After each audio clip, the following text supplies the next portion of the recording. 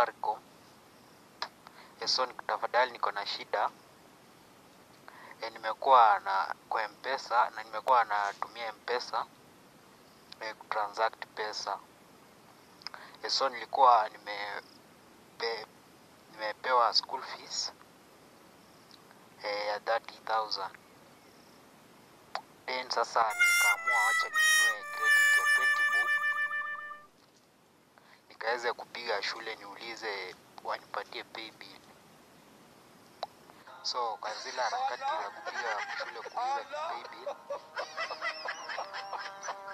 nika siku sasa nilikuwa wakati nilikuwa nanunua credit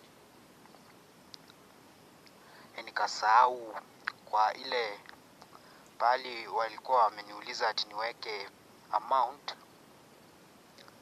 nikasahau nikaweka pin yangu ya mpesa na pin ni 9999 then vile ilinitisha tena kuweka pin nikasahau kwamba nilikuwa nimeweka 9999 nikaweka tena pin correct 9999 then hasa vile nilikuwa niliweka hivyo 9999 hiyo ikamaanisha kwamba nikanunua credit ya 9 9999 na simu yangu ilikuwa na okoa ya 1000 hasa imeweza kukatika na nimejaribu kureverse imekataa.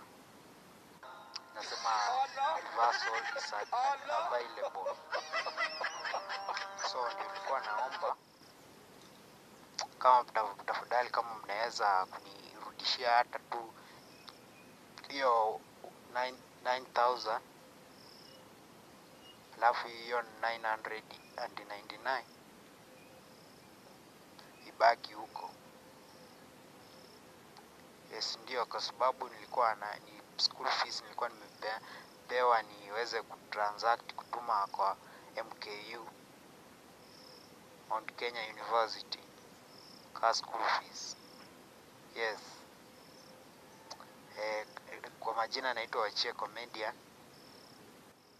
lakini id nimeweza kurejesta nayo collins wachie. Id ni 421 yes. Kwa hii namba ati iwezi kureverse kwa nini sasa? Ilichelewa sasa nitafanyaje? Hizo sasa na hiyo 9000 hiyo 9000 tu yote itakuwa credit. Ai. Ningependa ni sawa tu. Acha ndajua tu vile ndasort sawa sawa